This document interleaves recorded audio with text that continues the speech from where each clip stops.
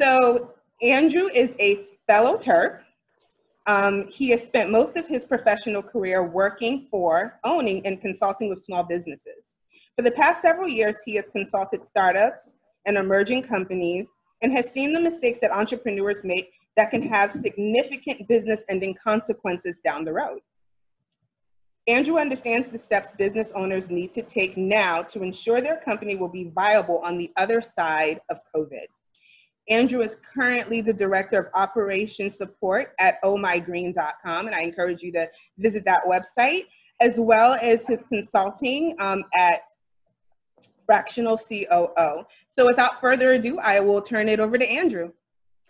Hey everybody, I'm glad you could join. Looks like we've got a decent sized group, so uh, hopefully I won't embarrass myself. Um, and so let's get started.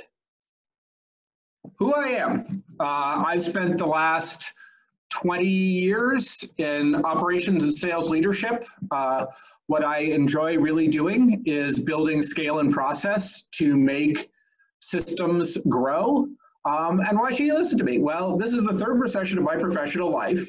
Um, and I can give a lot, I think I have a lot of advice to take it out of the other side. Um, is the kind of scope of what I've done as business for the last, at, when I was at Atmosphere, in three years, we took it from a 4 million to an $8 million company. I then went on to found Terashita, a blockchain-based startup that was looking at improving the spice trade in India. After that, I've worked with Fractional COO, with multiple startups in multiple verticals to build business and revenue operations. And I also run the Seiler Fund, which is a nonprofit that gives five figure grants to the library and arts community. Who I am not, though, and this is the disclaimer I have to give I am not a tax professional, I am not an accountant, and I'm not a lawyer. If you have specific questions involving those things, I would encourage you to talk to a professional in that field. I'm also not you. My experiences may vary with your experiences, and we're all really bright people, happy to chat about things, but what I think is the right answer may not be the right answer for your particular situation. So, we all remember the movie Aladdin. Jafar, the scene where they're getting the lamp for the cave. You've heard the golden rule, boy. Whoever has the gold makes the rules. First rule of recessions liquidity gives you choices the most important thing is to preserve your runway. You remember to make another movie reference, Star Wars, where the Death Star is coming, the first one, where the Death Star is coming around and you see Endor and the time that the Rebel Alliance has to blow up the Death Star. As it gets closer, their choices get narrower and narrower. The more cash you have, the more choices you have. So the first thing is cut anything and everything you can. What is the critical core of your business? Who are the critical staff members? What are the critical resources you need to preserve? That's it. Everything else, let it go. You need that cash to get to the other side. Next,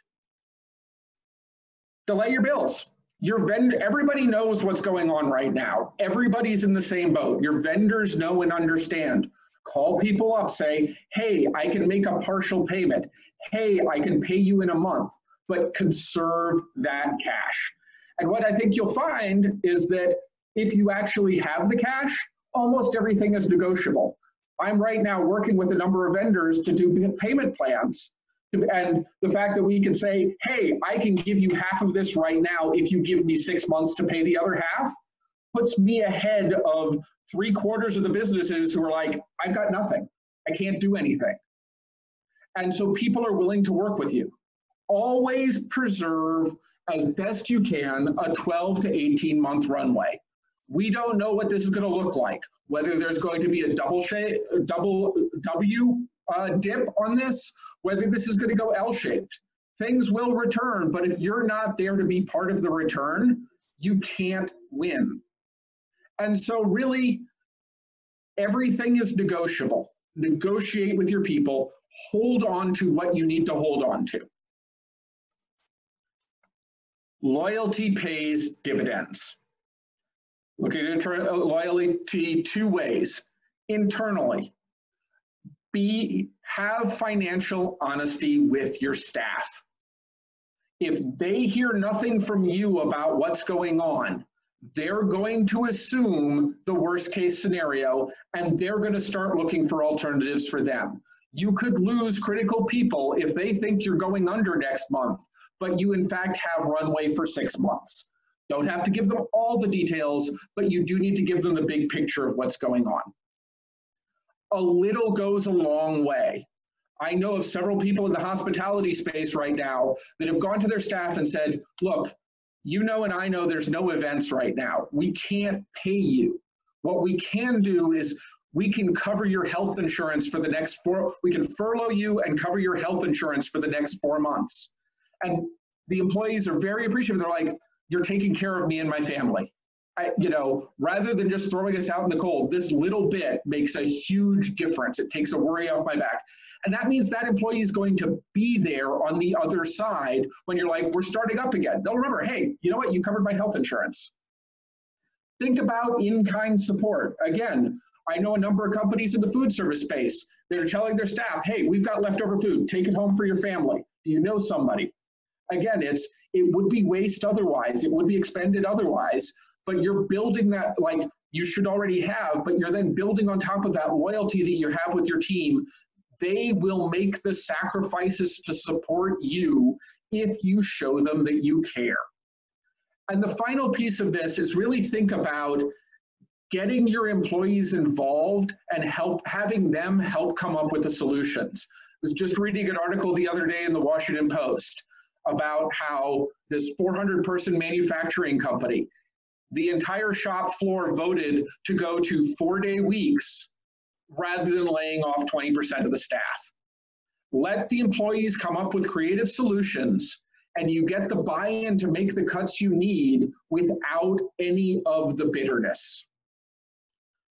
Externally, preserve your relationships. Vendors need to eat too. Don't go killing that goose that lays the golden eggs. For example, we have a technology provider. We are making sure to make the payments to that technology provider right now because I need their devs to be working on the next version of my software. If I don't pay them, they, they fall apart, and then I've got a useless product start thinking about who are the suppliers and vendors who are most loyal to you versus who is just transactional. I would much rather, I would suggest that you preserve the ones that are loyal. That loyalty works. If you can get them something, they will take care of you. Business is relational. Similarly, who are your most loyal clients? Can you go to them give them a little honesty and say, hey, can I get you to prepay half of the next three months? I'll give you a credit. Work out something like that. Again, build that relationship. You can see more cash coming in the door. And then finally, what does this look like on the other side? If you really burn a vendor or you really burn a client, are you going to need them in 12 months? Because they, if they're there, they will remember. Take care of everybody and they take care of you. It takes a village. Part of this is don't be a turtle. Be a terp, don't be a turtle. Hiding never helps. We're all in the same boat here. The economy came to a crashing stop. People understand that you can't make full payments right now.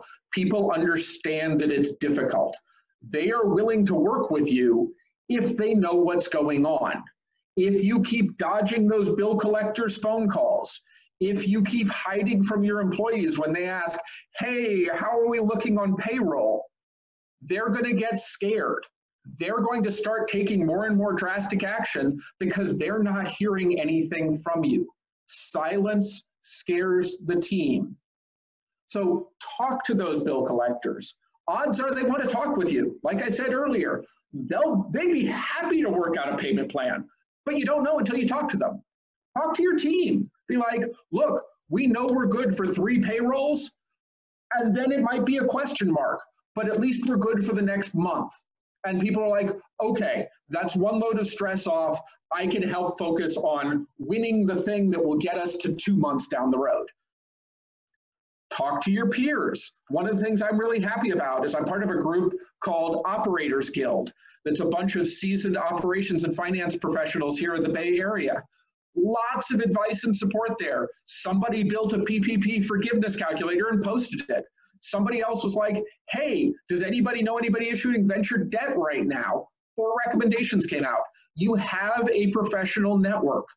Don't hide from them. Again, we're all in the same boat and they can help you and you can help them. You don't have to struggle through this alone.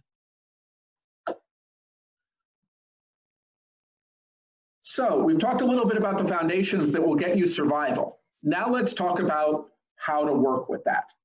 First rule of sales, you don't sell umbrellas on a sunny day. You do, however, sell parasols on a sunny day. What are you doing right now to meet the needs of your clients?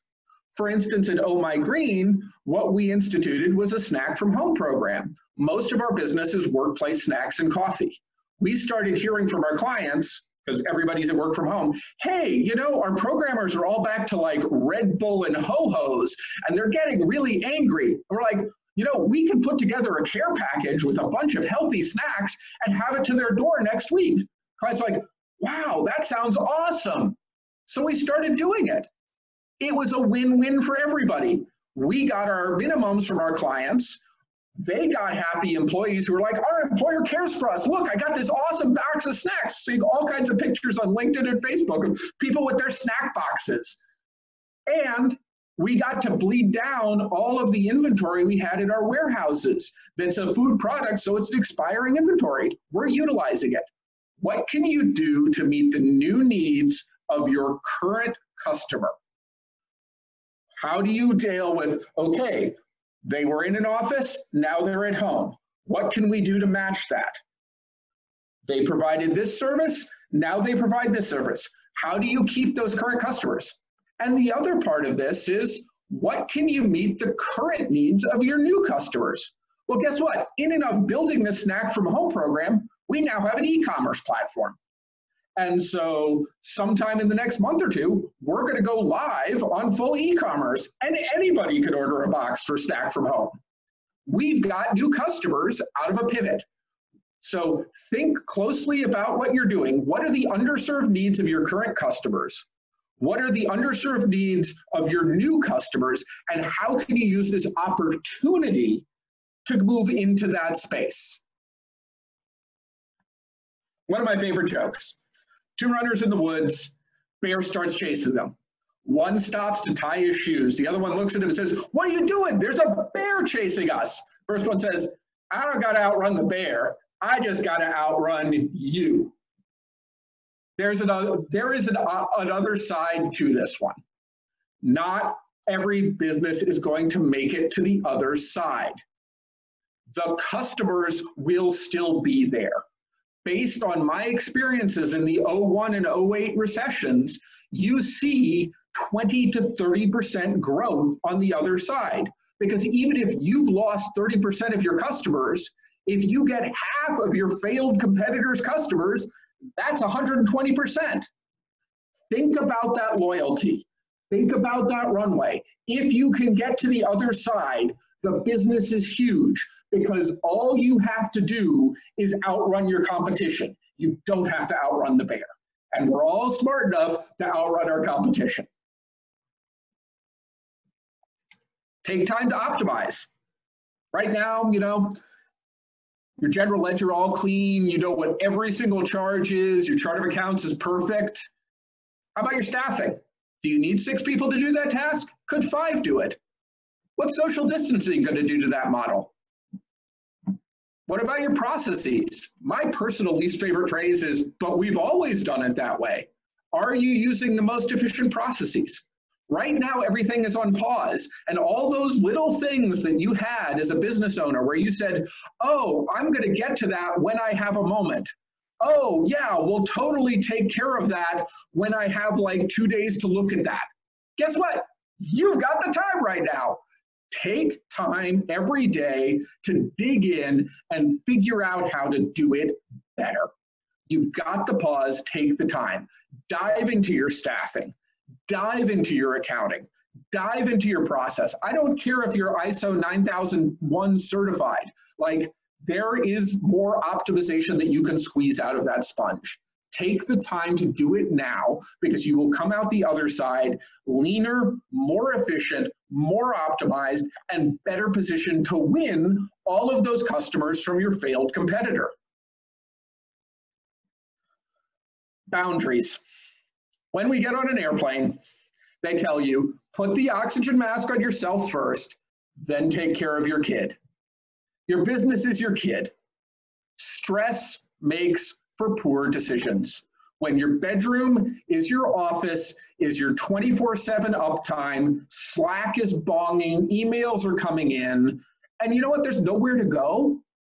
You're just going to fall into a work rut. This will burn you out. Set boundaries. Your priority should be to your family. Your priority should be to your friends. Your business is here and it's a priority, but it's not the only one. Take the time to take care of yourself because stress makes you stupid. Do something for yourself. Give yourself a win. For me, I found this uh, card catalog by the side of the road. I've spent the last two weeks restoring it. And so, you know what? Even if everything else goes completely sideways and wrong, I will be able to go in and say, hey, cool, look at my new side table. I did this during COVID. Give yourself a little win. You've earned it.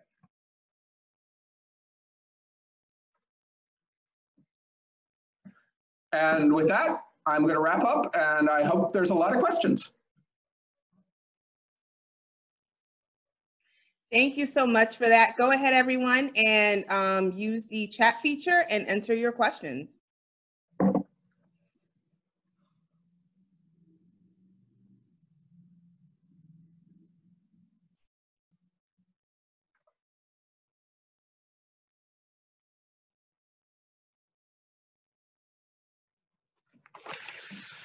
Thank you, Dana. You're biased. All right.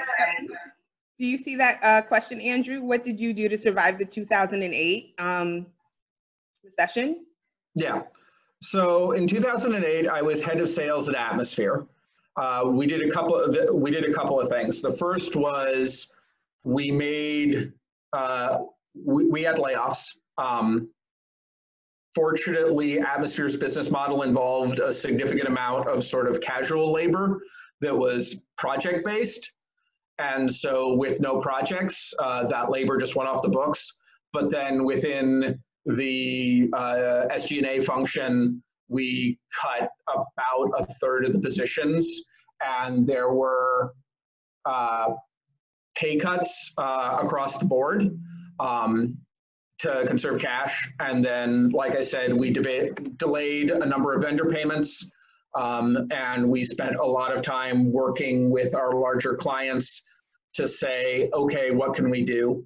Um, the other big piece of it was that whole uh, serve the needs of your new customer. In 2008, DC became a much bigger hub for lobbying. And there were a number of events that came to DC specifically for that. And what the customers were telling us, because these were the big banks getting their bailouts, we want to have a party, but we can't have anybody know that we're having a party. And so they would do it in undisclosed locations. The staff all had to sign NDAs. We had to comply with all of the new federal lobbying rules on food and everything else. So, like, there was a pivot involved there um, in terms of how we structured stuff and what we competed for. Uh, and then, you know, two of our major competitors in 08 did not have the runway and crashed and burned. And so on the other side, I started getting calls from people that I had been trying to get a hold of for two years who started calling, oh, you know what, I've got something in like two months and XYZ was going to do it and now they can't because they're not here anymore. Can you do it? Yeah.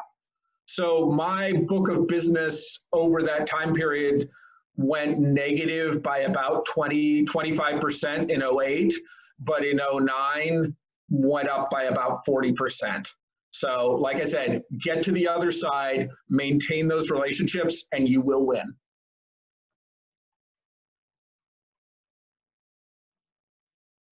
Natalie, do you want to yeah. prioritize these or? Yeah. All right. So the next question we have here is you have given us some great strategies for specific businesses. In in our opinion, what types of businesses, industries are in greater jeopardy of coming back? I guess in your opinion was the question. What yeah. types of businesses and industries are in greater jeopardy of coming back? Uh, anything that involves prolonged face-to-face contact or large groups. I'm very glad I got out of the event industry four years ago, five years ago now, because they are in for a long, cold, dark, dark winter. Um, I think a lot of personal care. I think a lot of um, retail is gone and it's it's not coming back. I would be curious, and I think that there are businesses like there are things that are going to come back but far more automated. I think that the amazon go grocery store model is going to take over from the traditional grocery store model fairly quickly. The, the fewer touch points. Um, i think that in things like uh, the food supply chain you know we're seeing all this stuff with meat shortages right now and everything else. I think you're going to see the rise of the robots because you can't you can't hang and cut pork and cows on six foot distancing. It doesn't work. You you know you have to spend a billion dollars building a new processing plant, and if you're going to do that, you might as well roboticize two thirds of it to avoid all the other costs. So I those those are the ones that I think are most obvious.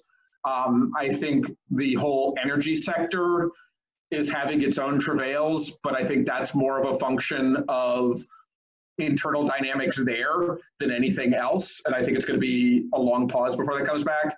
And I think tourism is going to hurt for a couple of years. And then it'll come back in a big way because people who have been deferring vacations for four years are going to go, but not on a cruise ship. How were you able to break into e commerce in a month? That seems like a big pivot. So it's, I, I would say that's a two layered answer we had existing clients who have, you know, had, they sent home a thousand people to work from home. And so building the process to get a thousand biweekly boxes out the door, then we got the process for e-commerce.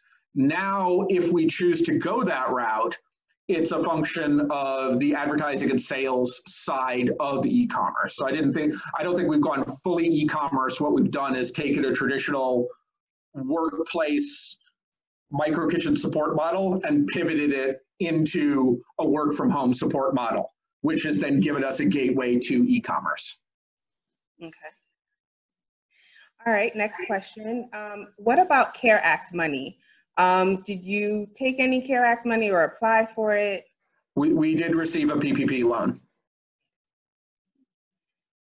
Um, how would you balance the need to optimize staffing with the honesty with staff concept? Can you honestly reassure them that everything's good for three months while also seeing who can be de-staffed? That's the tricky part. I think that uh, that's that's where I'm, I'm a big believer in mostly transparency. That I think if you go to the staff and say, we're going to need to reduce payroll by 20%. And people kind of know which departments are, are, are going to go. Um, you know, like if, our recruiting department, like any company's recruiting department, very early on realized there was not going to be any recruiting for a while.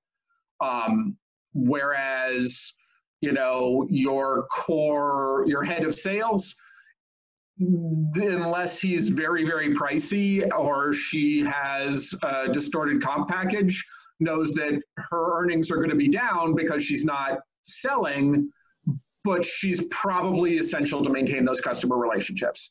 And so I think being honest in the big picture of we are going to need to make cuts to survive, but not specifically saying we're going to need to make cuts to survive. So you, you, and you, you're out.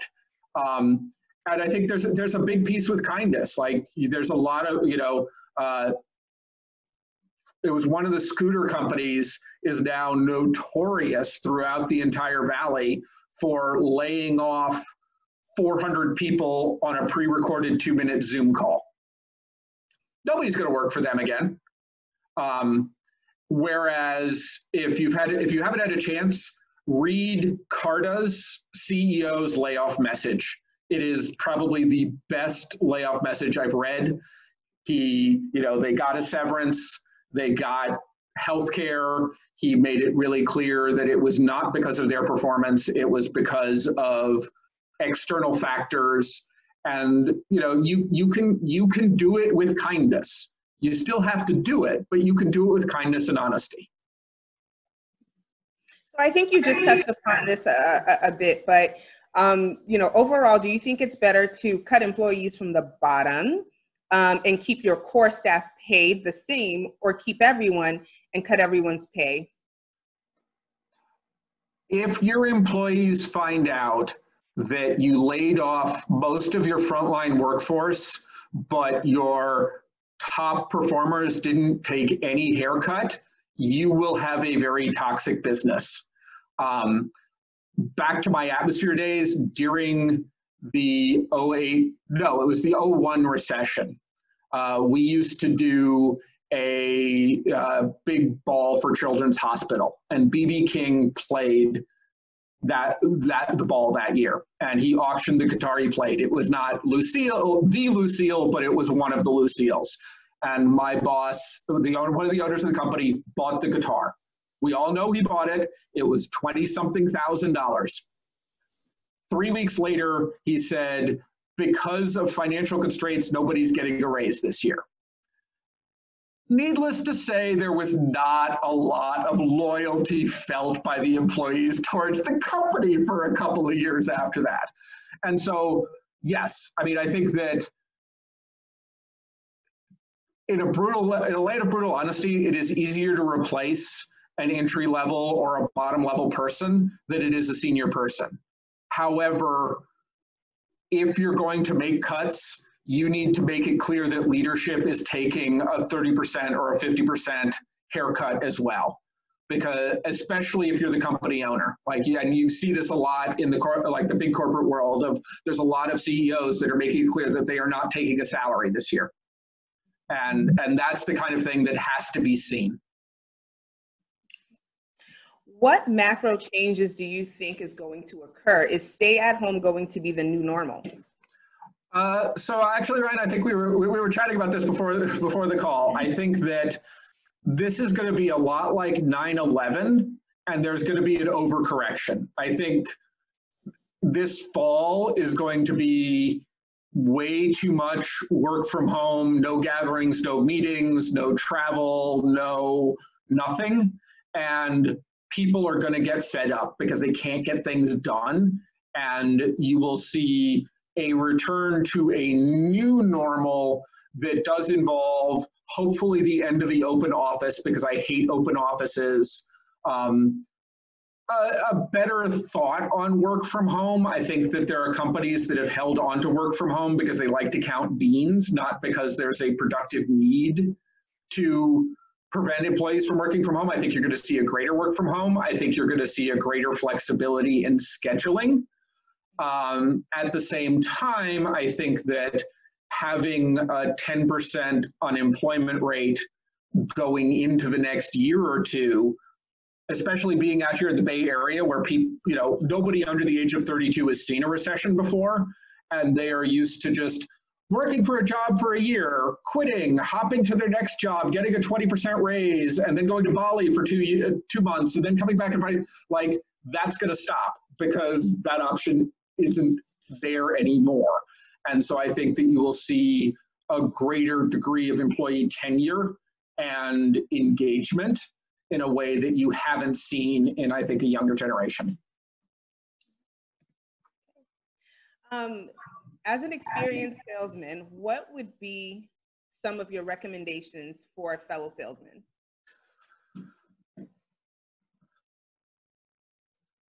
First is know the pulse of like really have a pulse on your customer.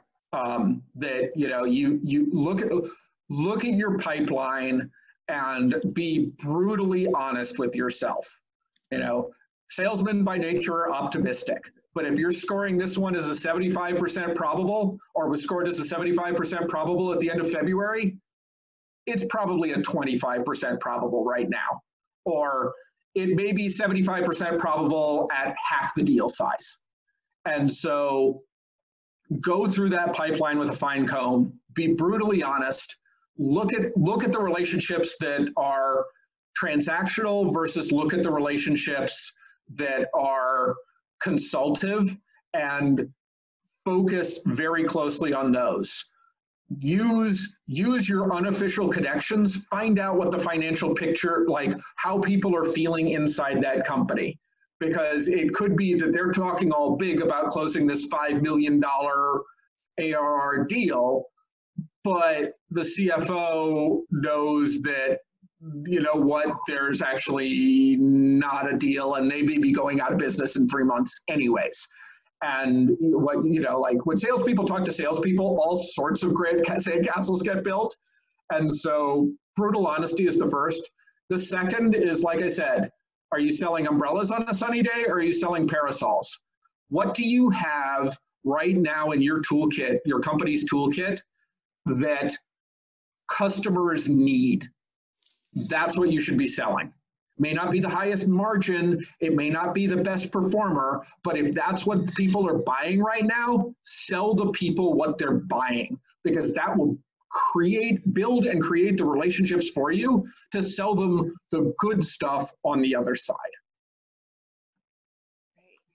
Um, so according to the poll, most of the um, most of the people on the um, video right now on this uh, in this event they have had their businesses for 10 plus years, and the smaller margin is about startups. The, all the great information and tips that you gave today, do they apply across the board, or are there things that maybe startups should be doing a little differently than, let's say, our more seasoned um, business owners?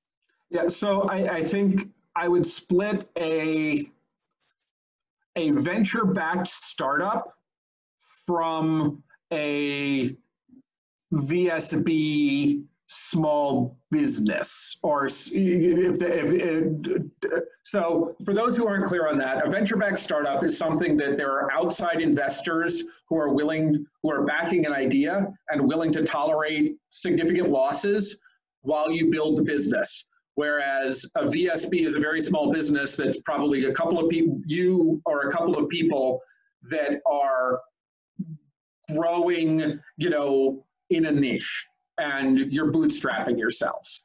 Uh, venture-backed startups, first thing I would say is read the Black Swan letter that Sequoia put out. Uh, I think it was Sequoia uh, three months ago.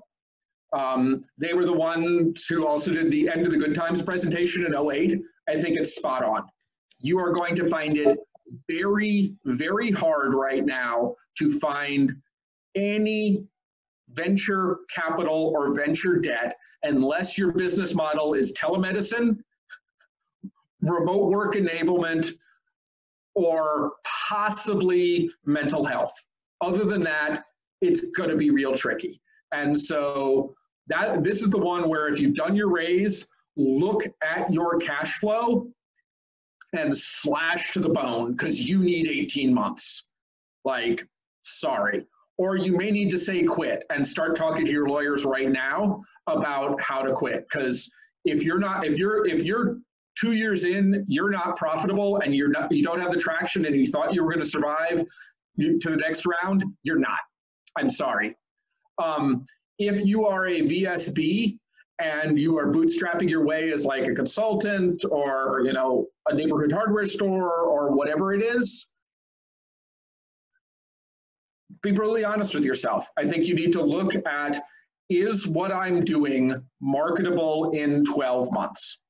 You know, like I was saying, I don't think retail is going to be there. I, you know, so if you just opened a slushy store, uh, you may not you may not make it and i'm, I'm sorry to say that um, if on the other hand you are a LEED green energy consultant yes there will be a demand for you in a year now it will be a reduced demand because i think construction is going to be down but figure out who your key players are and take the time right now to really work on your marketing your positioning and your relationships everybody's at home and bored call people up and talk to them not just about work. Build those relationships.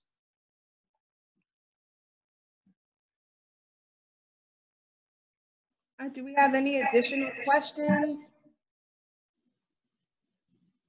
Great, great. Great. Well, um, Andrew, um, thank you so much. This was absolutely phenomenal. Um, Additionally, if you want to maybe share some maybe, you know, maybe a few more resources that you may have, or I know you have your email here on the screen, so you know, please make sure if you'd like to con, I'm putting that out there, Andrew. Um, please, if you have specific questions, I'm, I'm always willing to chat. Uh, so hit me up on my email or my LinkedIn. Love to connect with you. Love to share ideas. Great. Thank you so much. Um, we will be sending out a follow-up email to this, so we hope that you really enjoyed this. I know I learned a lot. Um, so thank you so much for that, Andrew. Greatly appreciated. Thank you. Great guys. work, Andrew. Well Thank done, you, sir. Thank you. Take care. Bye-bye.